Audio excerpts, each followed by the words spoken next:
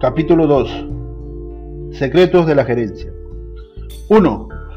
El secreto de la gerencia vale un millón. Estas palabras, comprender el secreto de la gerencia vale un millón, se las dirigí a los empleados de la compañía eléctrica Matsushita como regalo de Año Nuevo el primer día de 1934. Por entonces daba una charla diaria a los empleados en el saludo habitual de la mañana a fin de comunicarles mis ideas como responsable de la compañía eléctrica Matsushita y también para entrenarme en el modo de hablar. En el saludo de Año Nuevo de 1934 hablé sobre el secreto de la gerencia. Voy a citar parte de la charla sacada de las notas tomadas entonces. Para mí no hay mayor alegría que recibir sus cálidos saludos en este primer día tan brillante del año de 1934 por el nacimiento del príncipe que nosotros, el pueblo japonés, esperábamos por tanto tiempo, se ha hecho aún más feliz este año nuevo. Les agradezco de todo corazón los buenos resultados conseguidos durante el año pasado gracias a la plena dedicación y a la colaboración de todos ustedes. Realmente me alegra ver el desarrollo progresivo de cada año debido al gran esfuerzo de ustedes. Sin embargo, al pensar en lo que a mí se refiere, mi responsabilidad aumenta a medida que progresa la compañía. Es decir, soy profundamente consciente de que debo prestar la máxima atención porque el hacer valer sus esfuerzos depende de mi dirección. Pero no se preocupen, pues mi gerencia es muy firme y les puedo asegurar que nunca me equivoco. Síganme con toda tranquilidad. Por su parte, sin embargo, no basta con ejecutar fielmente los trabajos encargados a cada uno de ustedes. De nada servirán sus esfuerzos si no actúan con sus trabajos con conciencia de gerentes. Al considerar cualquier trabajo como una gerencia, surgen ideas adecuadas y descubrimientos nuevos. Piensen ustedes que esto no solo ejerce un poderoso efecto en los trabajos de la compañía, sino que también contribuye intensamente al mejoramiento personal de cada uno de ustedes. Les voy a dar el siguiente lema como regalo del primer día del año nuevo. Comprender el secreto de la gerencia vale un millón. Este lema no es en absoluto ni una locura ni una exageración. Creo que una vez descubierta la esencia de la gerencia, no es tan difícil hacerse millonario. Desde 1934, en que alcancé la madurez de los 40 años, han pasado otros 49 más. Al releerlo, no puedo dejar de sentir qué joven era. Sin embargo, en cuanto a este pensamiento sobre la importancia de descubrir el secreto de la gerencia, no he cambiado, o mejor dicho, le doy una importancia mucho mayor. Creo que comprender el secreto es realmente importante. Una persona, aún siendo excelente en los estudios y en los conocimientos, sin defecto de personalidad, no siempre puede tener éxito como empresario. Creo que para conseguir el éxito necesita conocer el secreto de la gerencia, además de poseer las cualidades citadas. Hay dos cafeterías en una calle animada. Deberían de prosperar las dos, puesto que están en un sitio bueno y son del mismo tipo. Sin embargo, lo que ocurre con frecuencia es que una siempre está llena de gente mientras la otra se mantiene solo con las obras. Se puede decir que esto se debe a que un dueño comprende el secreto de la gerencia y el otro no. Creo que según se comprenda el secreto o no, se deja ver una diferencia enorme en el desarrollo tanto del comercio como de la gerencia de una empresa. Entonces, ¿dónde está el secreto? ¿Cómo se puede descubrir? Pues a mi parecer es una cosa completamente imposible de explicar ni de enseñar. Se puede estudiar administración, pero este secreto de la gerencia viviente no es algo que comprende al recibir una enseñanza. Creo que es algo como el Satori o la iluminación espiritual. Buda pasó seis años de retiro en la montaña sin poder alcanzar el Satori. Cuando dejó el retiro y bajó de la montaña, fue salvado por una virgen mientras descansaba bajo un tilo tomando leche y cabra, que ella le ofreció, alcanzó el Satori. Después de seguir un riguroso ascentismo, al meditar en un estado confortable, recibió la iluminación. Creo que de igual modo se puede descubrir el secreto de la gerencia. Es decir, dedicándose seriamente a todos los trabajos diarios como empresario. Hay que reflexionar sobre cada trabajo hecho, preguntándose si ha sido un éxito o no. Si ha sido un éxito, pero esta parte o aquella no ha salido perfecta. Es necesario tener el hábito de reflexionar o pensar automáticamente. Repitiéndolo constantemente, disminuyen poco a poco los errores, lo cual es indicio de que se ha empezado a comprender el secreto de la gerencia. Podría añadirse que es necesario tener un corazón sencillo como actitud mental para comprender el secreto de la gerencia. Debemos tener un corazón sencillo que no haga caso de los propios intereses, sentimientos o deseos. Así pues, cuando recibimos algún consejo, podemos decir de forma completamente natural, ah bien, voy a intentarlo, a ver qué tal. En cambio, al haber estudiado o tener muchos conocimientos y técnicas, a veces puede resultar en que no se sabe escuchar los consejos de los demás como sencillez. Por eso se tarda tiempo en comprender el secreto. No pocas veces ocurren casos así. Respecto al corazón sencillo, hace tiempo que hablo con la gente sobre su importancia y que también me lo repito a mí mismo procurando siempre mejorarme. Si los hombres pudiéramos tener un corazón sencillo en todo momento, podríamos ver las cosas y la realidad tal como son, siendo fuertes, justos e inteligentes como dioses. Si pudiéramos lograrlo, podríamos comprender con exactitud qué es lo más importante en el comercio y la gerencia, y juzgar correctamente de acuerdo con cada caso como potenciar la capacidad del personal. Esto es la comprensión del secreto de la gerencia. Se podría decir que la vía para descubrir el secreto de la gerencia es tener un corazón sencillo. 2. El comercio de por sí no permite las pérdidas.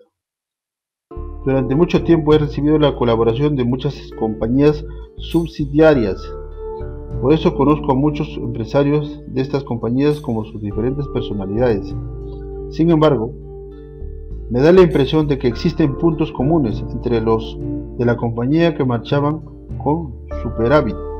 Creo que ellos tenían cierto tipo de fuerza. Por ejemplo, cuando les pedíamos bajar el precio de los productos que comprábamos porque queríamos intentar fabricar unas mercancías mejores y más baratas de acuerdo con las peticiones de los clientes, estos empresarios nunca decían, hombre, esto nos va a partir la mitad. Por el contrario, nos decían más o menos, bien, queremos poner ese precio también por nuestra parte. Nos esforzaremos en bajarlo sin falta, pero esperen solo tres meses. Entre tanto, haremos lo máximo para satisfacerles. Ya verán que lo conseguiremos.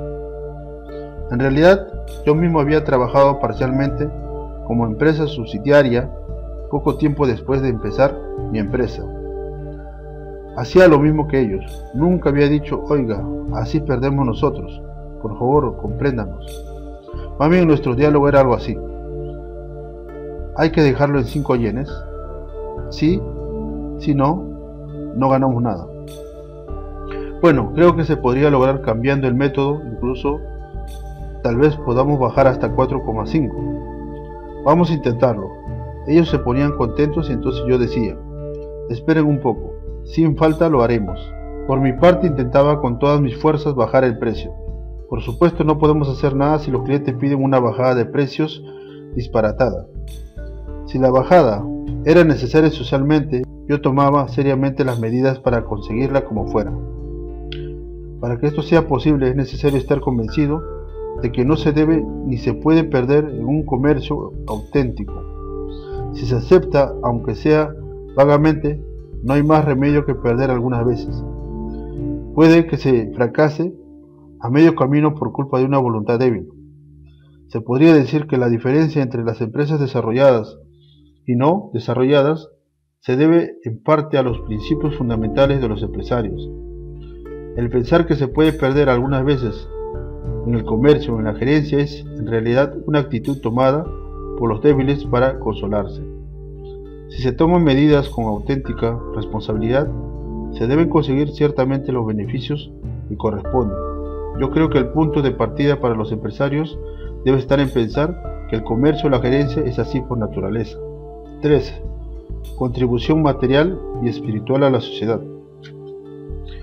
La misión del comercio y de la gerencia es mejorar la calidad de la vida humana mediante una producción abundante y el suministro de los más diversos productos.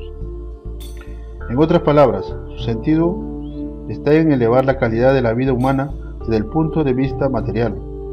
Por otra parte, ¿nuestra vida se perfecciona con solo obtener la riqueza material?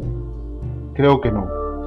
Aparte de la riqueza material existen la riqueza espiritual o elevación de los miras y la verdadera felicidad consiste en aumentar las dos riquezas. Considerando el comercio desde este punto de vista, será necesario no solo proponerse como meta enriquecerse en el aspecto material, sino pensar también en la riqueza espiritual.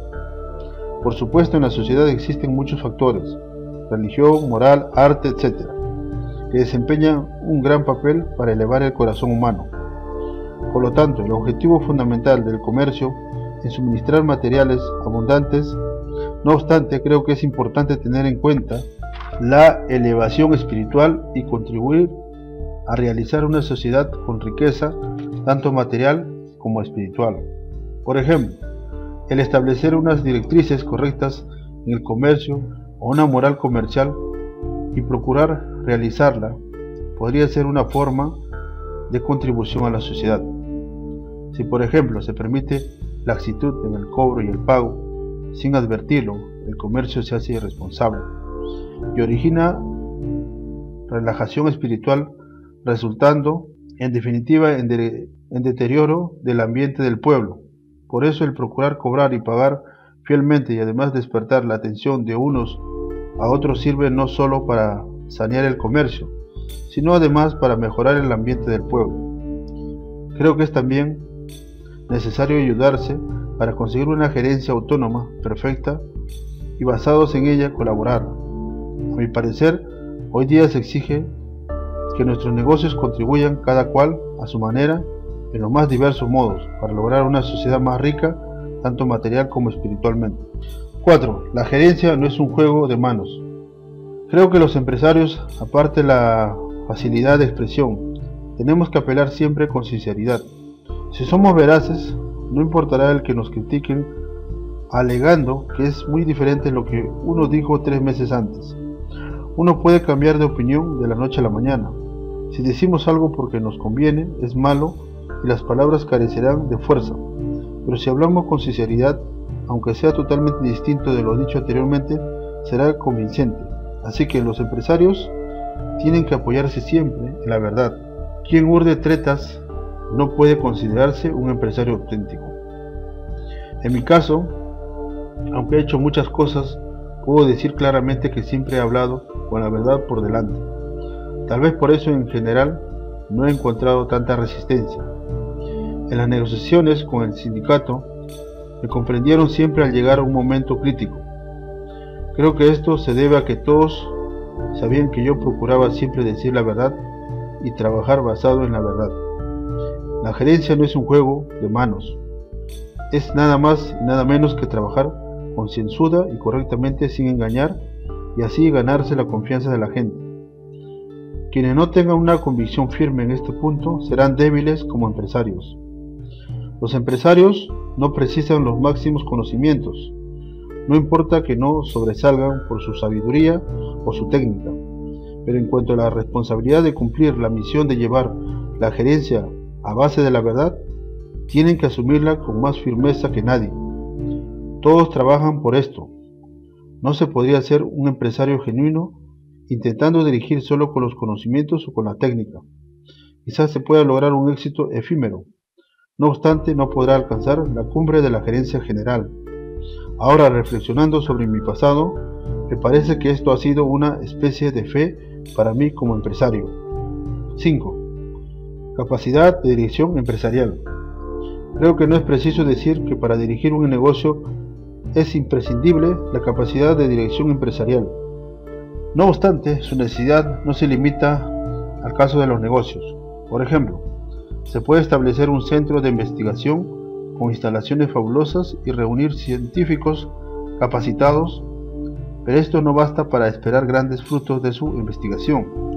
O sea, es menester una vigorosa capacidad de dirección empresarial o administración del centro de investigación para sacar provecho de los excelentes científicos y las espléndidas instalaciones.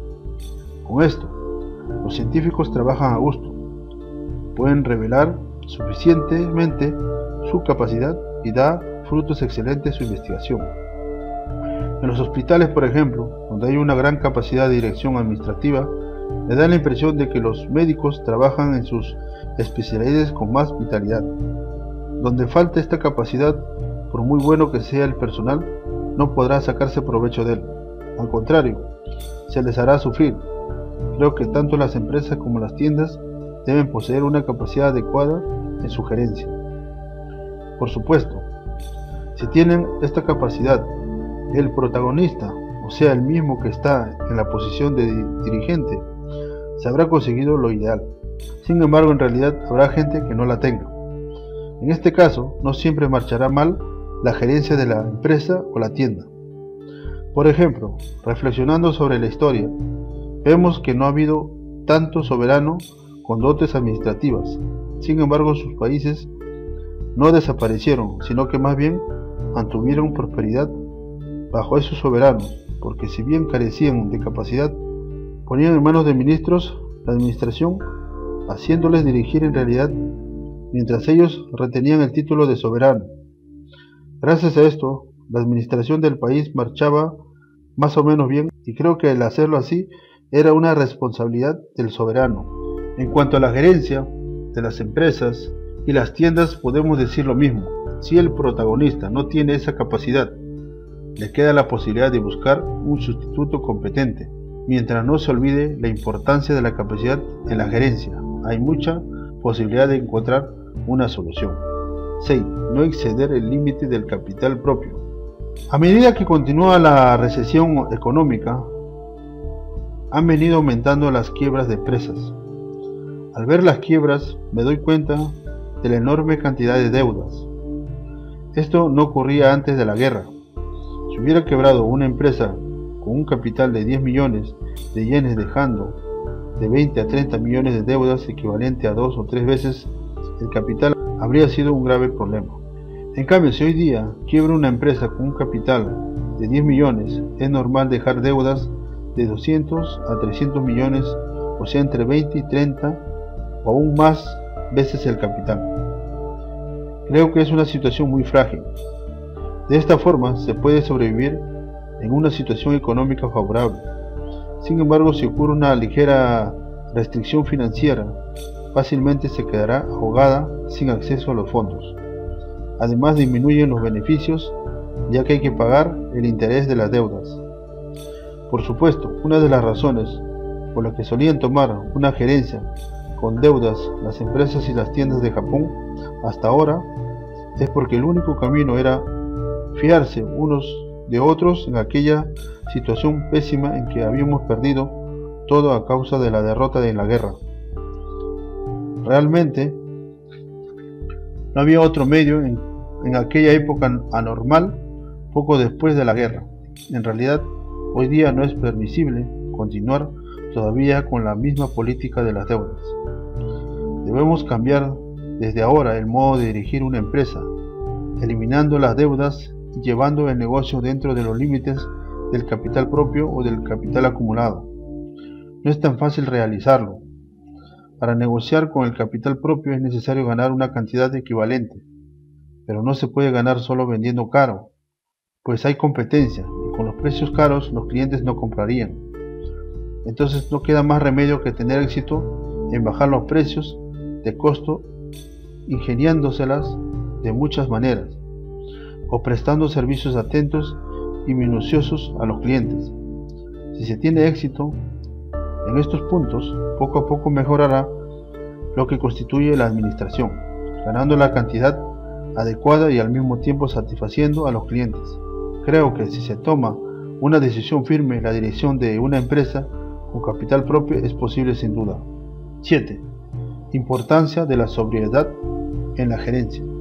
Recientemente, al pedir un préstamo a un banco, se aconseja un depósito de garantía, lo cual ha llegado a ser tema de actualidad porque el gobierno y el Banco de Japón se pusieron por considerarlo un exceso por parte de los bancos. Sin embargo, yo lo hacía hace más de 50 años sin que me lo exigiera el banco. Yo hacía lo siguiente, al pedir el préstamo, aunque bastara con 10.000 yenes, pedía 20.000 yenes para que sobrara. Esos 10.000 yenes sobrantes los dejaba depositados a plazo fijo.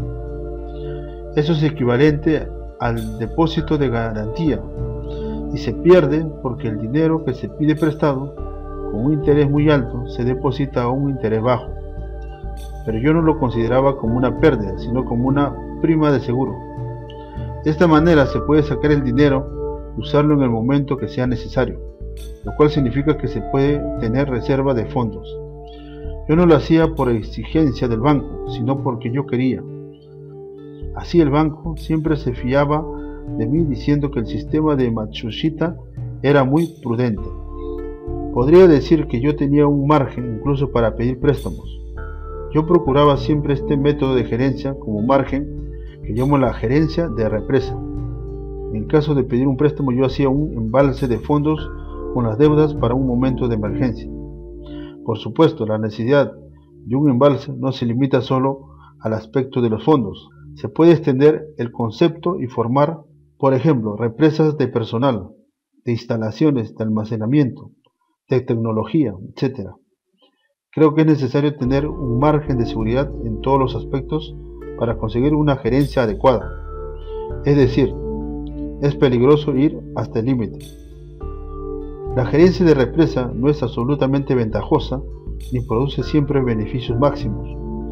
El formar los embalses, sean de fondos o de instalaciones, no produce beneficios directos y rendiría más el usar todos los medios disponibles. Sin embargo, se puede decir que la gerencia de represa es más prudente y tiene menos riesgos. Por lo tanto, en las empresas que desean un desarrollo estable a largo plazo es esencial la gerencia de represa. En otras palabras, evaluándose a sí mismo con exactitud, uno cargaría 40 kilos aunque tuviera suficiente fuerza para 50. Si se esfuerza al máximo por llevar 50 kilos, corre el peligro de tropezar y caerse. Pero con fuerzas de reserva no hace falta preocuparse por esto. En resumen, esta sería la gerencia sobria. Por ejemplo, aunque se disponga de 100 equipos, solo se hacen funcionar realmente 80 y los 20 restantes se dejan como reserva. De este modo, se puede responder a una demanda repentina. La gerencia en adelante debe realizarse de modo sobrio, procurando al mismo tiempo conseguir unos beneficios razonables. No obstante, en caso de haber una demanda real de 100 sería poco emprendedor producir solo 80. En tal caso se podría producir hasta 90, pero de ninguna manera hasta 100, porque entonces habría riesgo de quedarse sin vender. Lo importante es evaluar exactamente la demanda, produciría un mismo fracaso juzgar la demanda como 100, tanto si esta es realmente de 120 como si es de 80. Esto significa que de todos modos, aún la gerencia de represa es necesaria una evaluación exacta. 8. El contrato tácito. Las fábricas o las tiendas a veces producen o venden a base de pedidos reservados. Algunas empresas o tiendas realizan casi todos los negocios de este modo. Sin embargo, en general, hay más casos en que se produce o se vende sin recibir pedidos de antemano y dejando a muchos clientes comprar libremente en cada momento, es decir, basándose en la venta o producción previstas. Por ejemplo, actualmente nuestra compañía produce y vende productos por valor de un torno a un billón de yenes al año y la mayor parte la compran los clientes libremente en el mercado, sin pedidos reservados. Este modo de hacer negocio se puede considerar muy arriesgado, pues como no se recibe ningún pedido, no hay garantía de vender todos los productos y además en el caso de quedar algo sin vender, no se puede reclamar a nadie. Es realmente muy poco fiable y sumamente inseguro. Entonces, en tal situación, ¿cómo es posible la producción y venta adecuadas sin que sobre ni falte? Es un problema ciertamente complejo, pero cabría pensar lo siguiente. Si bien es verdad que no recibimos pedidos reservados ni firmamos ningún contrato, sin embargo, entre quienes compran nuestros productos y nosotros podemos considerar que existen una especie de contrato tácito. La gente puede comprar nuestros productos libremente y cuando lo desee. Es decir, la demanda la interpretamos como un contrato tácito, por consiguiente nos obliga a suministrar como productores o vendedores de acuerdo con los deseos de los consumidores. Por ejemplo, en caso de aumentar la producción o venta, o instalar equipos o fabricar nuevos, lo hacemos consentido, lo hacemos basado en un sentimiento de obligación, aunque no hemos recibido ningún pedido. Hay más gente, aunque está deseando este producto, lo cual lo interpretamos como si hubiéramos recibido pedidos reservados y se hubiera establecido un contrato, y estamos dispuestos a cumplirlos. Creo que al interpretarlo así, surge cierta confianza y se produce un poderoso impulso en el comercio. Hasta ahora yo siempre he trabajado concibiendo una especie de contrato tácito a mi manera, basado en este modo de pensar. Gracias a esto, he podido cumplir casi siempre la obligación de suministrar sin sobrar ni faltar a lo largo del proceso de expansión del comercio, unas veces en 30 o 500 millones de yenes, otras en 10 mil o 100 mil millones. Hoy día la sociedad se ha hecho cada vez más compleja y se han multiplicado los problemas difíciles tanto en la producción como en la venta.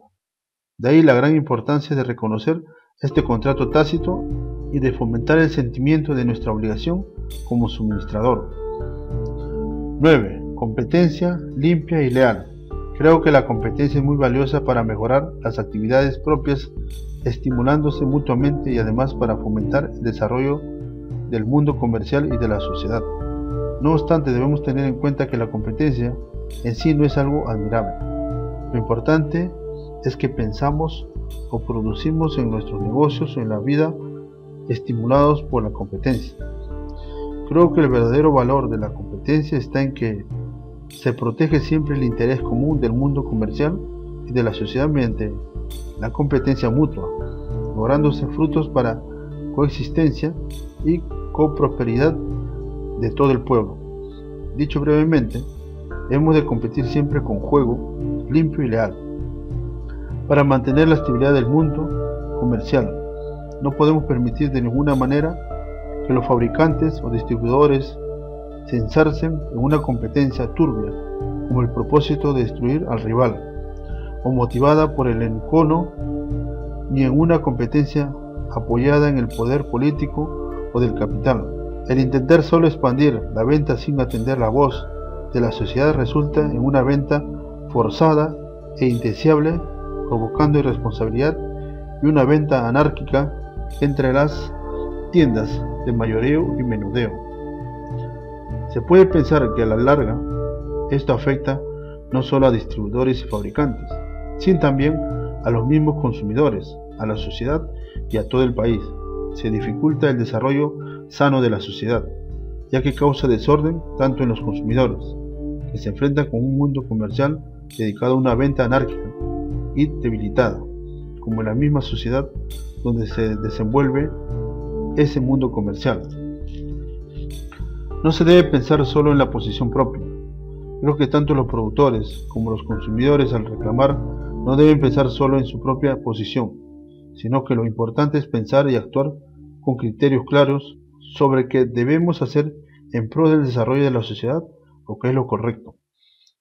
El considerar las rebajas injustas de los, precios, el considerar las rebajas injustas de los precios como una forma de competencia como un servicio al cliente, producirá un desorden en el comercio. El comercio irrazonable afecta naturalmente al pago y al cobro, y el desorden de una tienda influye sobre la totalidad como una carambola, debilitándose no solo uno mismo, sino también produciendo confusión en el mundo comercial. Así desaparece la auténtica misión del industrial y los negocios pierden su razón de existir.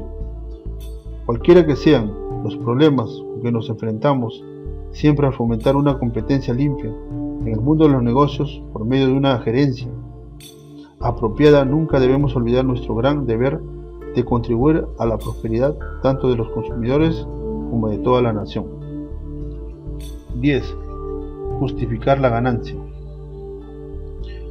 Creo que es muy importante obtener una ganancia adecuada en el proceso diario de los negocios. Justamente consiguiendo las ganancias adecuadas se puede desarrollar la tienda y hacer un comercio útil para más, gente. Además se puede contribuir a la prosperidad de la sociedad entera, entregando al Estado como impuestos una gran parte del dinero ganado. En este sentido se puede decir que el obtener una ganancia adecuada es cívicamente una obligación esencial y una responsabilidad. Por consiguiente, creo que nosotros, los dedicados a los negocios, debemos aplicarnos al negocio de cada día, conscientes de que el obtener una ganancia adecuada es una obligación esencial que nos permite cumplir con nuestra responsabilidad como miembros de la sociedad. Por supuesto, para llevar el negocio adelante, lo fundamental es suministrarles a los consumidores mejores productos con el precio más bajo posible y satisfacerles. Por tanto, debemos procurar un servicio perfecto ingeniándonoslas y elaborando productos mejores cada día, y así como métodos más efectivos para el negocio. No obstante, al mismo tiempo, no debemos olvidar la importancia de obtener una ganancia adecuada. Si lo olvidamos, surgirá una venta desordenada, en competencia excesiva, que causará pobreza y confusión propia y ajena. No basta con darle a nosotros importancia a la ganancia adecuada, también es necesario comunicar este modo de pensar y convencer debidamente a los clientes o al público. Por muy importante que consideremos a ganancia adecuada, si no lo reconoce el público, no sirve para nada. Por tanto, es preciso expresar su importancia cada vez que haya ocasión. Si continuamos esforzándonos con paciencia y entusiasmo para que el público lo comprenda, estoy seguro de que la gente admitirá este modo de pensar porque creo que justamente esta manera de pensar constituye la base para producir prosperidad tanto en las tiendas como el conjunto de la sociedad. A mi parecer, llegar a convencerse de esto es una clave para posibilitar un comercio verdadero, útil al individuo y a la sociedad. 11. El rey sabio, el vasallo fiel. Hace 32 años, en mi primera visita a Europa, el director de una gran empresa me dijo, Señor Matsushita, yo considero al consumidor como un rey y a nuestra compañía como su vasallo. Por lo tanto, nosotros tenemos que aceptar todo lo que digan los consumidores, por muy difícil que nos parezca. Nuestra obligación. Trabajamos con este criterio. Hoy día se repite con frecuencia, el consumidor es rey. En aquel entonces la idea me pareció original y admirado. Pensé, es verdad, ciertamente tiene razón. Es un pensamiento con mucho meollo. No obstante, al mismo tiempo se me ocurrió lo siguiente. Desde muy antiguo, cuando un rey no pensaba en sus vasallos ni en su pueblo, estos perdían el ánimo para trabajar y a veces sufrían privaciones. En no pocos casos, el país acabó en un atolladero. O sea, si el rey se comporta caprichosamente termina el mismo en aprietos. Por lo tanto, quizás sea una forma de lealtad escuchar todo lo que diga el rey, aunque parezca disparatado. Pero el servicio de un vasallo automáticamente fiel a veces puede consistir en aconsejar al rey para evitar que se equivoque. En ocasiones tendrá que dirigirle palabras duras arriesgándose a sufrir la ira real. Creo que el vasallo o el pueblo que realmente piensa en el rey es el que se esfuerza para que éste sea sabio y comprensivo. Recientemente se da cada vez mayor importancia a la posición del consumidor, lo cual me parece bueno. Sin embargo, ahora quisiera saborear una vez más el sentido profundo del dicho. El consumidor es rey y desearía contribuir a la prosperidad de la sociedad y el país procurando que sea el rey sabio y el vasallo fiel. 12. Valor de la propaganda. La misión de los fabricantes es elaborar productos realmente útiles para la gente. De lo contrario se perdería la razón de ser del fabricante. Pero ¿Basta fabricar productos buenos? No lo creo. Pienso que es necesario avisárselo al público, de una u otra forma. Podría decirse que tenemos obligación de presentar al público cada producto bueno y de informarle sobre sus ventajas. Este es el valor de los anuncios o propaganda. Su verdadero objeto no es de ningún modo exclusivamente la venta. El anuncio nace del deseo genuino de informar a la gente sobre un producto bueno y en este sentido es valioso. Al mismo tiempo, los anuncios y la propaganda sirven para animar a los vendedores de los productos y apoyar sus actividades de venta. Los vendedores hacen su negocio, encontrando su misión en repartir a los consumidores, directa o indirectamente, los buenos productos suministrados por los fabricantes. Si los fabricantes no dan demasiada importancia a los anuncios y la propaganda porque consideran la venta como trabajo exclusivo de los vendedores, estos sentirán cierta inseguridad y sus actividades se debilitarán. En cambio, si hay una actividad positiva de propaganda por parte de los fabricantes, los vendedores llevarán la venta adelante entusiasmados con gran confianza y pasión por cumplir su misión. Por supuesto, hoy día se hacen propagandas y anuncios muy intensamente y no hace falta que yo encarezca su importancia.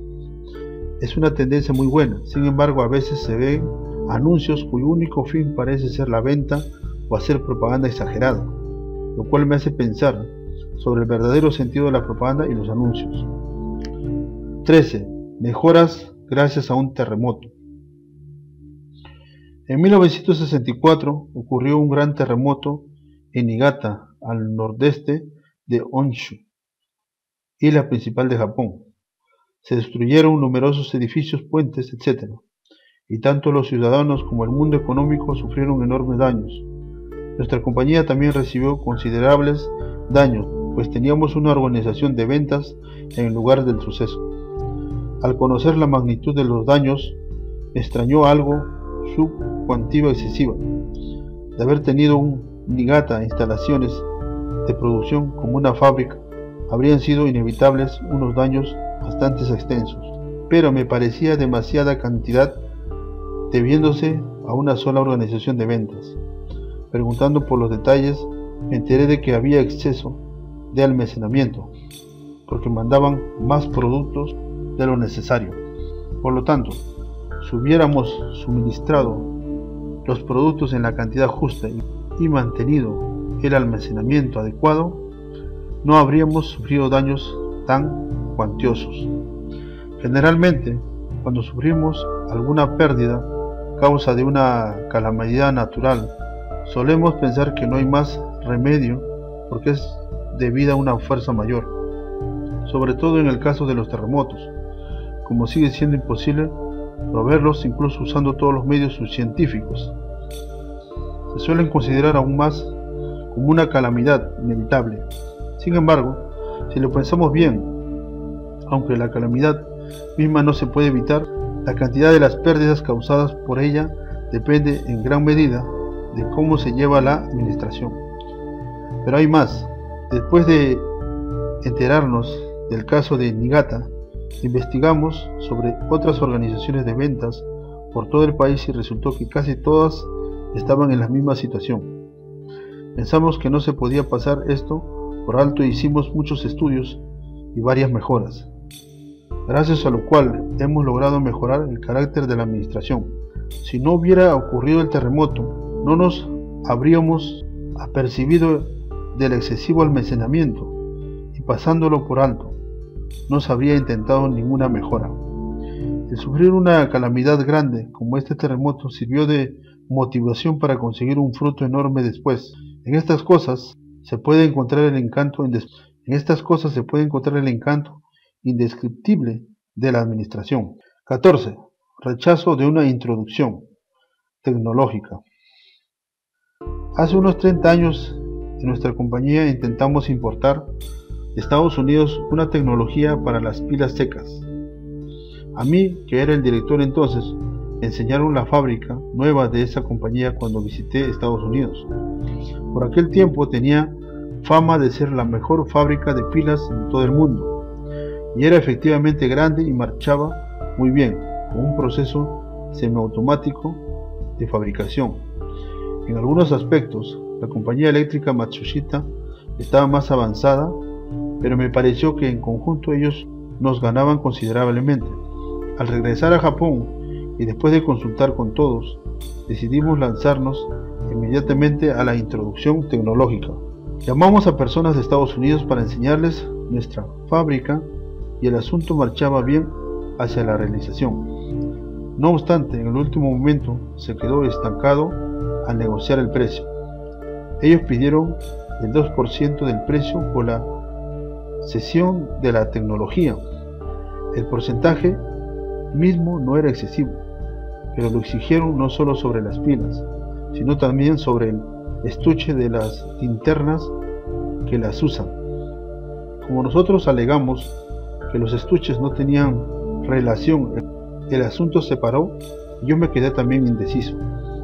En aquel momento un responsable nuestro de la tecnología me dijo lo siguiente, director, vamos a prescindir de esta tecnología. Podemos fabricar una pila mejor si usamos esta misma cantidad de dinero en investigación. Yo le contesté, pero tardaremos mucho si empezamos a investigar desde ahora. Ellos tienen ya una tecnología buena. ¿No será más rápido importarla? Además, si el estudio no tiene resultado positivo, ¿qué vamos a hacer? Entonces él me repuso apasionadamente. Seguro que podemos, se lo juro. Déjenos. Si insiste tanto, vamos a intentarlo. Así fue. Y suspendiendo la importación de aquella tecnología, decidimos investigar por nuestra cuenta junto con el responsable como cabeza del equipo. Todos se lanzaron unidos literalmente en un bloque y por fin lograron fabricar productos mejores que los de Estados Unidos. Además hemos logrado sacar nuevos productos uno tras otro y ahora en cambio estamos en la posición de ofrecer nuestra tecnología al mundo. Si en aquel momento hubiéramos llegado a un acuerdo, quizás no habríamos obtenido estos resultados. Al pensarlo, me da la impresión de que la dirección tiene una profundidad que no se puede abarcar con la inteligencia humana. 15. Para aprovechar la inteligencia de todos, basta desearlo. El tener éxito o no en una empresa, al fin y al cabo depende de la capacidad de la dirección de la compañía o de la tienda. Esta capacidad la determina parcialmente el poder reunir los consejos de todos los empleados. Habrá casos en que es grande la capacidad por haber un director excelente, tan buen trabajador como elocuente, pero no creo que sea lo ideal. Más bien, si se deja todo en manos de un director excelente por demasiado tiempo, no es raro que las cosas acaben mal. Es difícil explicar lógicamente por qué ocurre esto. De todos modos, en la realidad se dan con frecuencia estos casos. Tal vez sea una paradoja. En mi caso he intentado siempre a mi manera llevar la dirección aprovechando los consejos de los empleados y lo he expresado abiertamente. Esta compañía no está dirigida por Konosuke Matsushita ni por nadie. La dirige el conjunto de ustedes mismos. La dirigimos con nuestra inteligencia. La gerencia se basa en la inteligencia de todos. De lograrlo depende el futuro de la compañía. Cada uno de ustedes es un gerente que concibe ideas. Vamos a pensar así. En múltiples ocasiones he hablado sobre esto con los empleados. Por supuesto, unos han colaborado de acuerdo con mi manera de pensar y otros no. A pesar de todo, he podido influir hasta cierto grado y creo que he obtenido resultados satisfactorios. Con esto, hoy día la dirección en colaboración con la inteligencia colectiva es un pilar fundamental de la compañía eléctrica Matsushita, la cual se ha extendido por el mundo y con frecuencia me preguntan cómo pueden reunir los consejos de todos o qué medidas se toman para eso, etc. No obstante, es muy difícil contestar a estas preguntas. Creo que hay en ello algo inexplicable. Para aprovechar la inteligencia de todos, lo primero que se le ocurre a uno es intercambiar las opiniones en una reunión. Ciertamente es una forma buena, pero no siempre se puede reunir las ideas buenas de todos celebrando una reunión. A veces se alarga la reunión inútilmente sin poder decidir nada. En estos casos se acumula la estupidez colectiva en lugar de la inteligencia. Yo no digo que las reuniones sean malas, sino creo que hay algo más importante y fundamental que el aspecto formal. A mi parecer, lo más importante para lograr algo, sea lo que sea, es desearlo o esperarlo sinceramente. Si se tiene una voluntad o un deseo fuerte como quiero conseguirlo como sea, o hay que lograrlo como sea, ya está medio hecho. Las medidas y los métodos para eso ya se nos ocurrirán después. Por consiguiente, si se intenta aprovechar la inteligencia de todos, ante todo es necesario un intenso deseo de, reunir sus ideas. Si uno tiene ese deseo fuerte en su corazón, se trasluce de forma natural su comportamiento, su actitud, etc. Y empieza a reunir las ideas buenas de todos sin darse cuenta.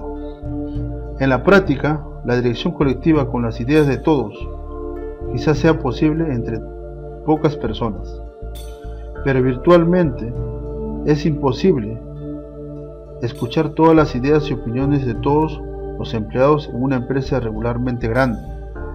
No obstante, si el director tiene la voluntad de llevar la gerencia con la inteligencia de todos, puede dejarse influir por las ideas u opiniones de cada uno directa o indirectamente. Así una decisión del director, aunque aparentemente arbitraria, resulta acertada porque en realidad se basa en el sentimiento de todos los empleados. Por supuesto, además de tener este modo de pensar, también es necesario algo más objetivo. Por ejemplo, ser humilde y saber escuchar a los demás. Fomentar un ambiente favorable para expresar sus opiniones, etc. Esto se logrará de forma natural si fundamentalmente se tiene un fuerte deseo de reunir los consejos de todos. En este sentido, pienso que las ideas no las reunimos, más bien se reúnen, solas si existe el deseo.